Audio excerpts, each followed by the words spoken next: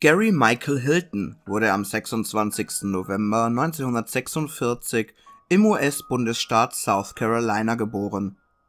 Bekannt wurde er als The National Forest Serial Killer.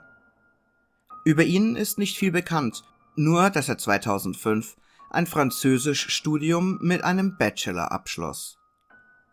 Im selben Jahr, am 7. Dezember 2005, verschwand die 26-jährige Rossana Meliani beim Wandern.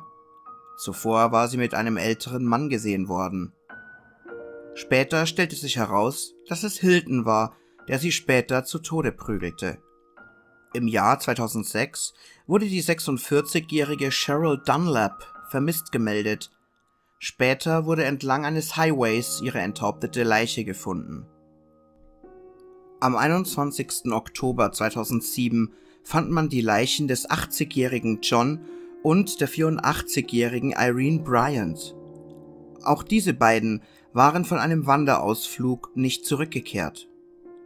Am 6. Dezember 2007 fand man die zerstückelte Leiche des 27-jährigen Michael Scott Lewis. Er war ebenfalls auf einer Wanderung gewesen. Am 4. Januar 2008 wurde Gary Hilton festgenommen. Ein Zeuge hatte ihn auf der Straße als den unbekannten Begleiter eines der Opfer erkannt. Am 8. Januar 2008 führte Hilton die Ermittler zur Leiche der 24-jährigen Meredith Emerson.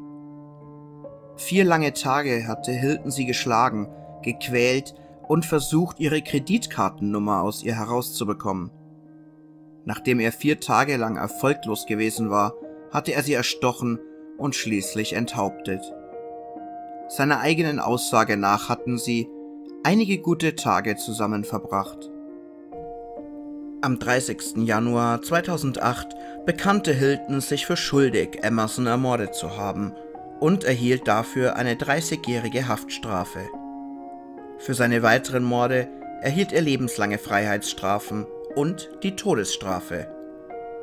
Bis heute wartet Gary Hilton auf seine Hinrichtung.